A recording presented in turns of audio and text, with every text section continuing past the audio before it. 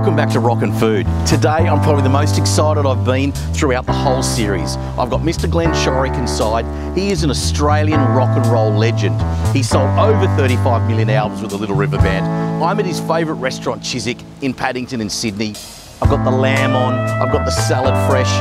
Please come and join me inside. I'm more excited than I ever have been. Let's go.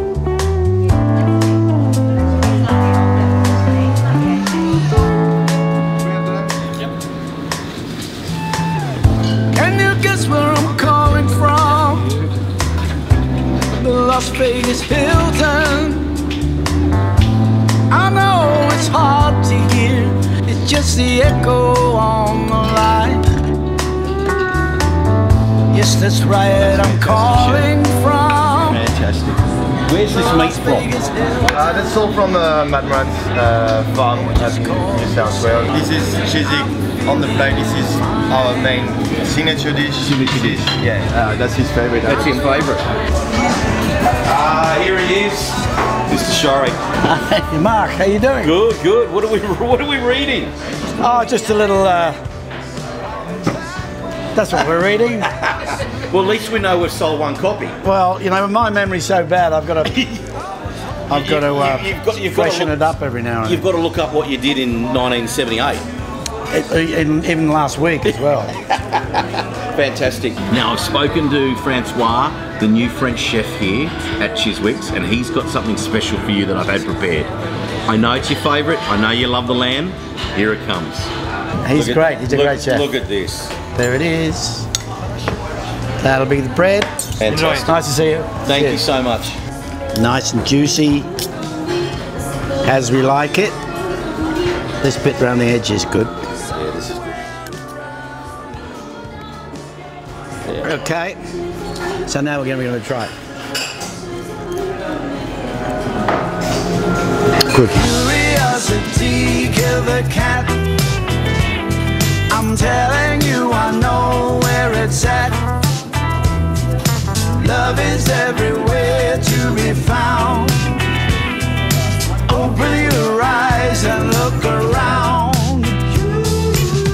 I come from a pretty, well, basic working class English migrant family, and two two veg and meat and two veg has been my staple diet Do you think when I grew this- up. Do you think that this harks back to that?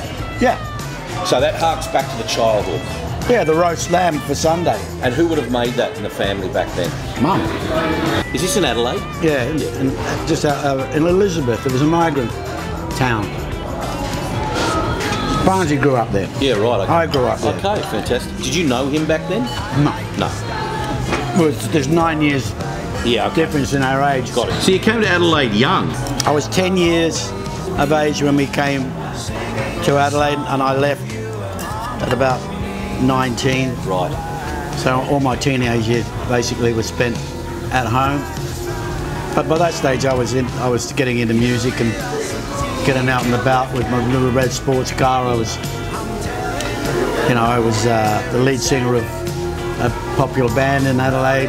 Was it much of a scene in those days? Oh yeah, Yeah. And we were we were right in the middle of it. Yeah, right. And what, what was the what was the name of that that first band? The Twilights. Okay.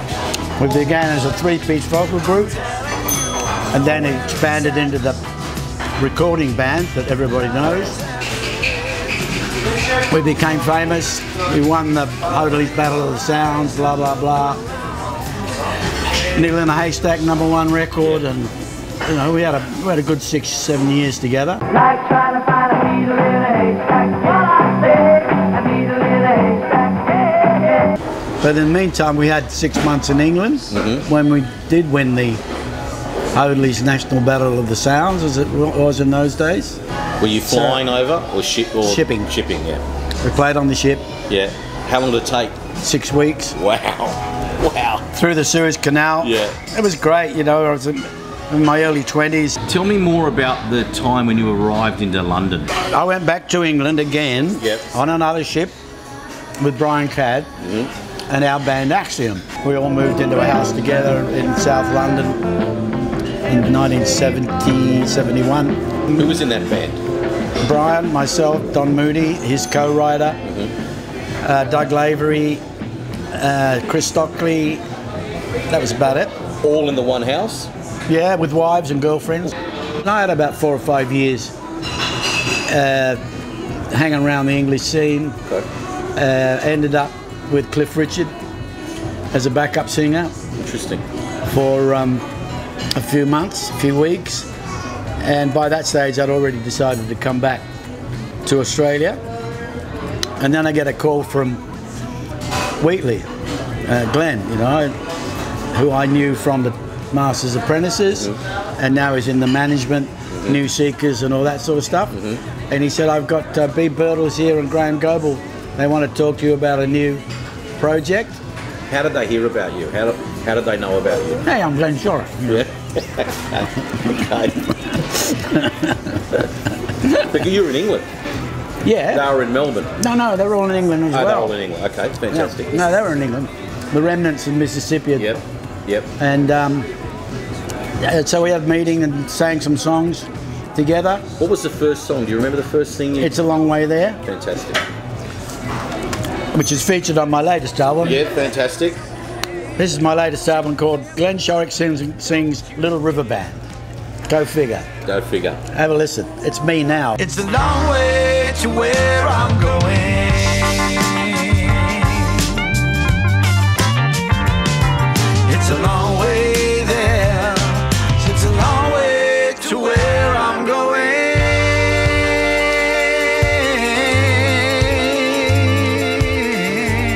So we said, okay, we'll meet back in Melbourne in the early 75. And that's what I did. I, I came back by myself on an Air India flight, um, crashed at a few people's houses for a while. How old were you then? How old was I then? Uh, 30, Yep. Early 30s. early, very early 30s. Yep. Uh, I ended up uh, sleeping on the floor next door to Jim Keays' house in Carlton, Victoria. Glenn Wheatley was sleeping in Jim Keays' house as well. And um, we gradually put Little River Band together, got on Countdown and all that stuff. Do you remember those days? Yeah, of course.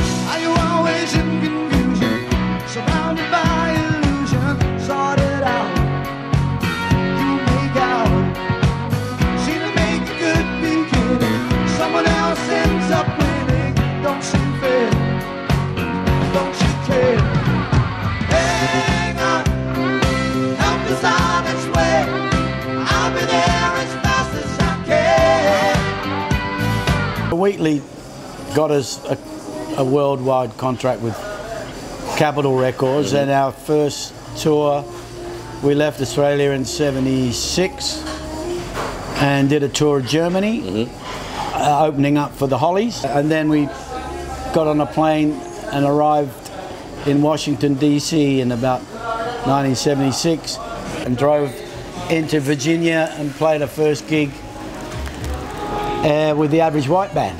That's awesome, mate. We got a standing ovation. Fantastic. We opened for the Doobies on the back of a truck at a uh, Wow. open air festival. After a couple of tours and a, a few top 10 hits in America, uh, my accountant, I had, I had to have an accountant. I, I, could, I had nothing to count before. Yeah, yeah. But now I did something to have. He said, you got to buy a, a car, a house, and a, and a boat. And I did in one year. So LRB really was known as one of the best harmony bands in the world. I mean, really, next to the Eagles is quite an amazing achievement. Yeah, we worked with them uh, quite a bit, off and on.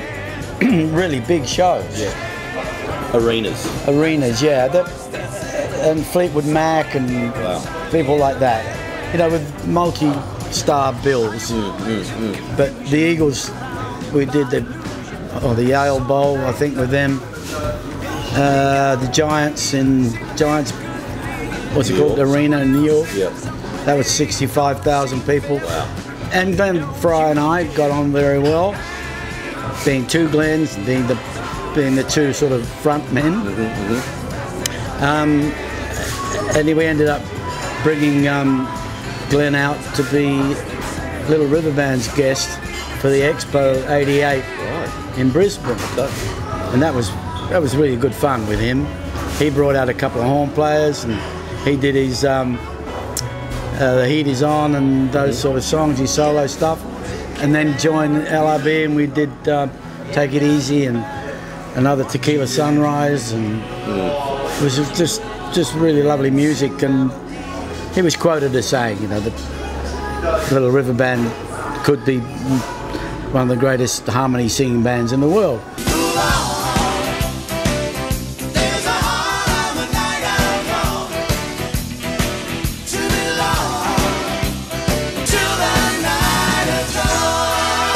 We were third on the bill. There was Fleetwood Mac and then REO Speedwagon and LRB or uh, whatever, and Billy Thorpe. Mm-hmm. Billy Thorpe was having a go as well in, in Dallas. He had a minor hit. The Fleetwoods were huge. Yeah. And they were transported everywhere. This is all the big arena shows, yeah? Outdoor stuff. And they were transported everywhere from their dressing room to the stage by golf buggies. Yeah, yeah. One in each. Yeah. And they went past. And the roadies were saying, clear, clear, the, clear, clear the way, the Fleetwoods are coming. Yeah. And I go, what? Who cares?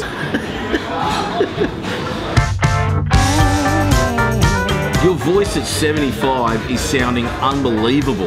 That's, I'm I'm just older and it's got much more character. Yeah. Wiser, I don't know about.